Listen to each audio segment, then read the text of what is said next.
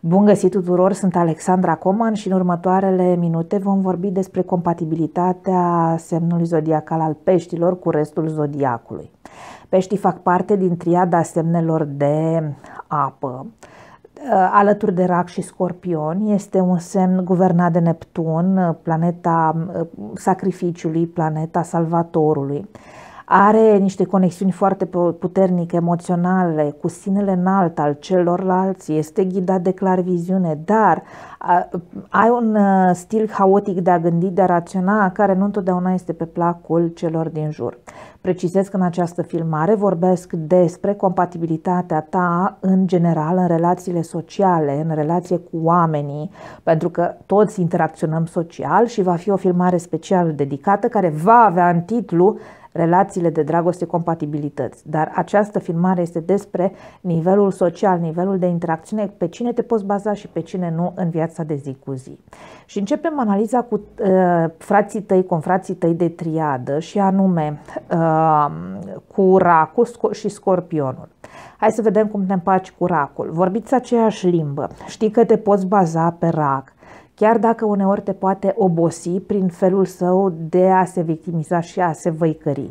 Însă avem compatibilitate bună, știi că este un partener fidel, serios, tenace, care te poate ajuta prin tenacitatea sa să-ți atingi obiectivele și scopul. Scorpionul te cam sperie, dar ă, dacă tu alegi să-i cedezi puterea, ai să vezi că te va duce în zone de evoluție în care nici nu visai că poți să ajungi. Cu el la cârmă poți să ajungi foarte departe. În niciun caz nu-ți asuma că tu poți să controlezi relația cu un scorpion, pentru că chiar și cel mai vulnerabil scorpion întotdeauna va reuși să întoarcă lucrurile în favoarea sa și să preia comanda mai devreme sau mai târziu. Când întâlnești un alt pește, este uh, uh, un pic cam dificil. Bun, din punct de vedere emoțional empatizat și sunteți acolo și sunteți prezenți și vă bucurați că v-ați întâlnit unul cu altul, că e cam rar să se întâlnească pește cu pește.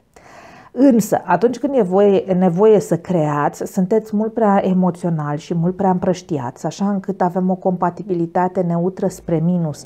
Nu este o compatibilitate productivă deloc în relație unul cu altul este o compatibilitate în care vă puteți uh, încurca în ițele propriilor gânduri și din acest motiv spun că suntem pe neutralitate cu minus pentru că este foarte greu să ajungi într-o zonă de productivitate.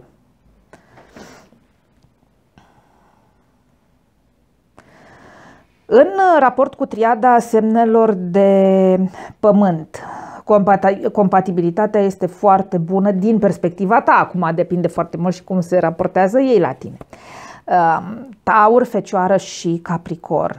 Cu Taurul chiar ai uh, propriul tău sistem de comunicare și îți place ai nevoie, ca și semn de apă, de multă stabilitate. Iar taurul, cu lentoarea sa, cu încetineala sa, cu, cu stilul casnic și domestic de a se orienta spre viață, este persoana potrivită la locul potrivit. Numai că vezi că stilul tău de a intra într-o rutină eh, nu aduce un plus relației. Este, deci, com, compatibilitatea foarte bună, dar sunteți buni la locul de muncă dacă ați lucrat la stat făcând același și același proiect în fiecare zi, 20 de ani, luând același salariu. Așa încât este o compatibilitate foarte bună, Taurul va fi prezent pentru tine, nu o să-ți dea atenție, nu o să-i pese de emoțiile tale, deci nu te aștepta la răspunsuri emoționale din partea Taurului că nu o să le primești deloc, dar va fi acolo și pentru tine asta va conta foarte mult. Fecioara este semnul tău opus în axa zodiacală, deci este uh, semnul de la care ai cele mai multe lucruri de învățat. Și aș spune că este o compatibilitate bună și productivă tocmai prin faptul că tu ai ce să înveți de la acest semn zodiacal. Îți poate da niște lecții foarte importante respecti acest semn, respecti modul în care gândește și mai ales admiri capacitatea fecioarei de a gândi cu 5-6 pași înainte. Ai nevoie de o fecioară în echipă pentru a te aduce cu picioarele pe pământ. În proiecte ai nevoie de o fecioară, dar nu uita că toate semnele de a, pământ sunt foarte practice și orientate spre câștig și spre sine. Dacă reușești să gestionezi acest lucru, atunci e perfect și comunicarea e foarte bine, bună cu ele. În uh, ceea ce privește Capricornul, din nou, ești fan forever, îl admiri tot timpul pe Capricorn, ai lucruri bune de învățat, știi că n-ai să fii ca el niciodată, dar îți place foarte mult să te afli mai ales sub conducerea sa.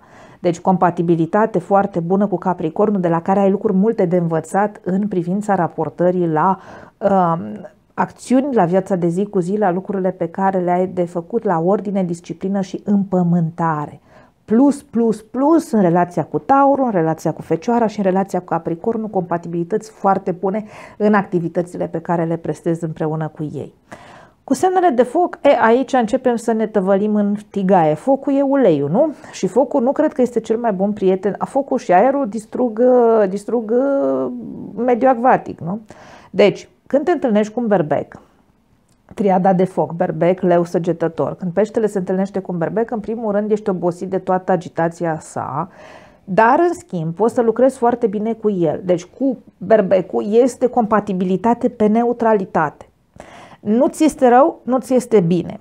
Sunteți atât de diferiți în a aborda viața, încât uh, puteți colabora foarte bine, tu dându-i înțelepciunea și uh, clarviziunea berbecului, Berbecul oferindu-ți, uh, fără pretenție uh, și fără tăgadă, onestitatea, ambiția și uh, capacitatea de a pune în practică imediat ideile, de a trece la treabă. Deci aici avem o compatibilitate când aveți un scop și un cel comun, mergeți foarte bine mână în mână. Cu leul însă nu sunt aceleași lucruri pentru că leul este mult prea orgolios și leul nu o să suporte fragilitatea ta emoțională, nu o să înțeleagă, o să o considere un semn de slăbiciune și o să încerce să te calce pe cap de câte ori are ocazia. Iar un pește călcat pe cap întotdeauna va reacționa, așa încât nu, nu, nu, stai departe de acest semn care te va răni, te va distruge, te va scoate din minți și te va afecta. Dacă însă ești forțat de împrejurări să lucrezi împreună cu un uh, leu, încearcă să nu-i sari în ochi, pentru că o să-i dezvolți niște instincte sadice și ai grijă că semnele de foc sunt foarte maestre, percepute și bune la întoarce cuțitul în rană. Uh, cu săgetătorul te tolerează, îl tolerezi și puteți colabora foarte bine pe proiectele de viitor, pe proiectele sociale și pe îndeplinirea unor planuri. Săgetătorul este, cred că după Capricorn este ca și talent al doilea în ierarhie, Capricornul știe să conducă oameni. Leu are nevoie de lumină scenă, eu, eu sunt șeful. Dar săgetătorul își face treaba și seamănă mult cu Capricornul. Păi nu degeaba sunt și vecini de zodiac și îți place să lucrezi cu acest semn care este stabil emoțional, care este corect, care este onest și care niciodată nu o să folosească talentele sale ca să se răzbune pe tine sau să-ți facă rău. Deci ne place, îți place, compatibilitate bună în relația cu săgetătorul, nu pe zona relațională amoroasă. Aici m-am referit numai strict la business. Semnele de aer, gemen, balanță și vărsător. Gemenii îți plac, te dinamizează, ai o compatibilitate bună cu ei, dar nu te aștepta să fie executanți.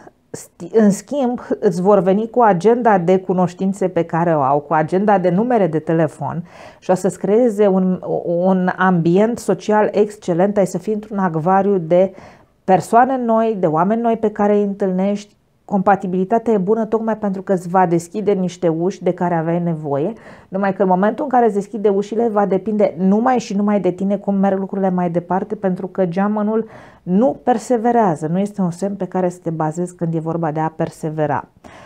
Cu balanța, o, oh, face o echipă foarte bună, balanța este extrem de diplomată, este estetică, are creier, compatibilitatea bună pentru că Uh, știți ce să vorbiți, când să vorbiți și aveți propriul vostru limbaj, numai că o să te deranjeze puțin inconsecvența, instabilitatea și nevoia balanței de a fi validată de foarte multe persoane din jur. Asta o să te cam enerveze, dar puteți colabora, deci eu aș spune o compatibilitate spre neutralitate, dar cu un mic plus acolo lângă pentru zona estetică și echilibru pe care ți-l aduce. Dar nu te baza că nu e zodie de anvergură, nu e zodie care să fie de cursă lungă, mai degrabă cu un taur ești de cursă lungă, mai degrabă cu o fecioară. Dar în proiecte este factorul ăla necesar de aducerea armoniei, a plăcerii în lucru cu echipa. În timp ce vărsătorul va rămâne marea ta enigmă, n-ai să înțelegi ce vrea vărsătorul de la tine, el nu o să înțeleagă ce vrei tu de la el, nu sunteți compatibili și modul cinic de a răspunde și de a vorbi al vărsătorului o să te rădească peste măsură și nu s-a inventat încă platoșa care să te protejeze. Cred că aș spune că vărsătorul și leunul, degeaba ele se află față în față pe axa zodiacală. Sunt zodiile cu care ai rezonat cel mai puțin și te afla în, în susținere cel mai puțin pentru că nu te înțeleg și nu-i înțelegi. În schimb, dacă leul e sadic și te chinuie, vărsătorul o să te ignore și o să aibă așa o figură de plictisită când te vede, încât o să-ți vină să te târi și să te ascunzi sub primul scaun, numai să nu-l mai vezi niciodată. Deci, nu este o compatibilitate bună cu acest semn zodiacal pe care îl consideri uh, greu de citit, greu de înțeles, manipulator și obositor. Nu prin felul în care se comportă, ci prin felul în care ți este foarte greu să-l citești și să-l intuiești.